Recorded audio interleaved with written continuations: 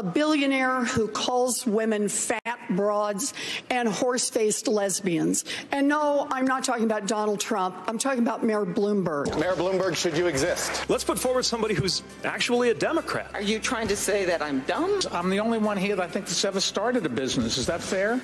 Okay. But we can't be so eager to be liked by Mitch McConnell. The best known socialist in the country happens to be a millionaire with three houses. We're not going to throw out capitalism. It was called communism and it just didn't work. At a certain point, you got to do the math. You lost by over 20 points to someone who later lost to my friend Joe Donnelly. It's like a post it note insert plan here. The policy was abhorrent. Was there? Let me finish. Thank you. How many Let me that? finish. That's, yeah, can I finish? This is ridiculous. You have two stents as well.